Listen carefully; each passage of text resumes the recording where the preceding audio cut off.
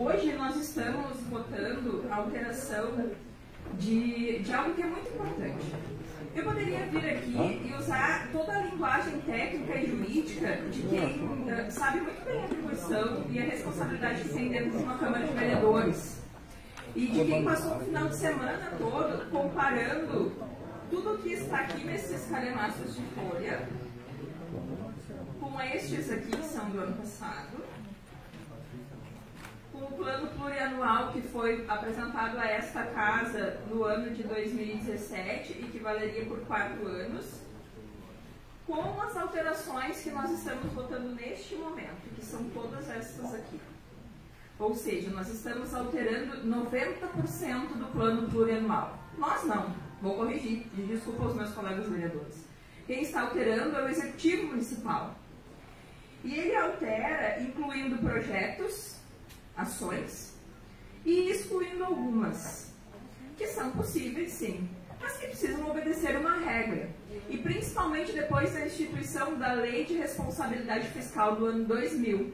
Justamente eh, para que a verba pública, o dinheiro público, fosse melhor fiscalizado através desses instrumentos que são o plano plurianual, que é votado no primeiro ano de um governo para quatro anos, a lei de diretrizes orçamentárias, que dá as diretrizes dos programas que serão executados com dinheiro público, e a peça orçamentária, que é o último projeto que a gente vota uh, em cada ano para o ano seguinte, com todas as receitas e despesas do município.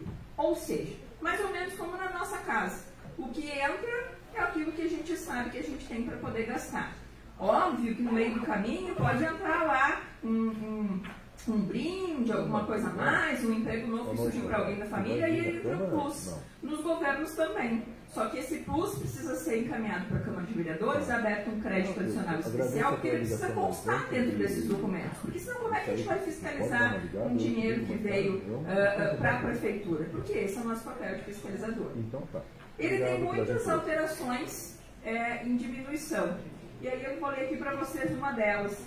50, 81 milhões 487 mil 321 reais uh, no programa de ampliação com qualidade de acesso à educação. Isso está sendo reduzido. Peguei ano a ano. Em 2018 a previsão era de 223 milhões, passou para 221. Em 2019, 2019, a previsão era de 241 milhões, passou para 224. No ano de 2020, era de 260 milhões, passou para 234.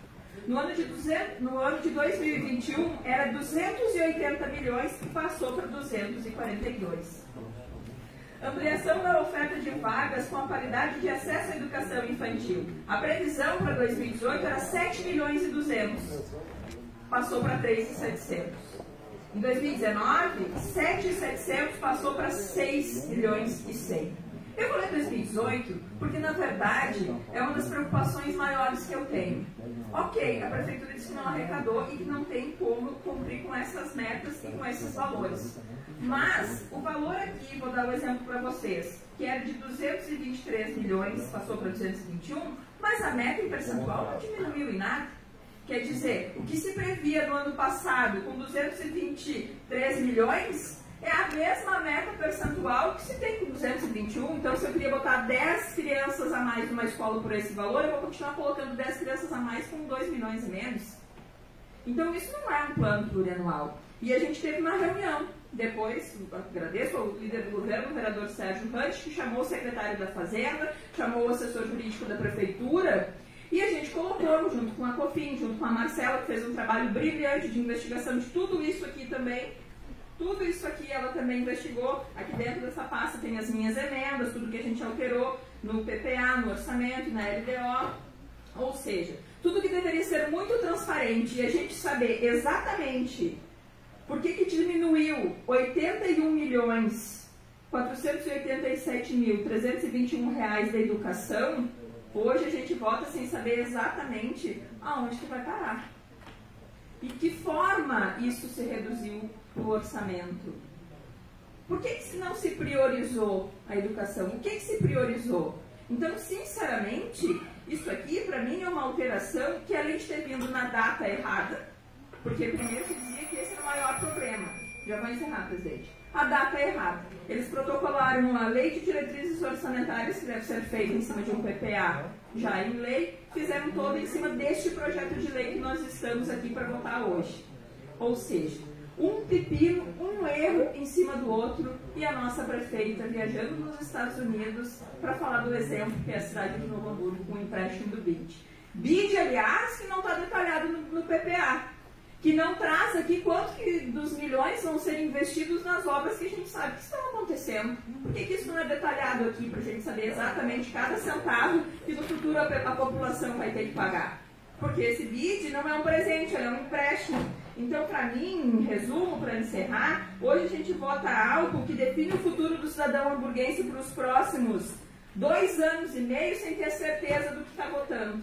Estudando, fazendo o tema de casa, mas tendo do outro lado uma administração que inclusive desrespeita os vereadores, porque no momento que senta aqui numa reunião que concorda que está errado, que assume para a gente que fez errado e precisa corrigir, corrige de uma forma que sinceramente eu não consigo entender, porque mudou apenas algumas letrinhas e algumas coisas, assim.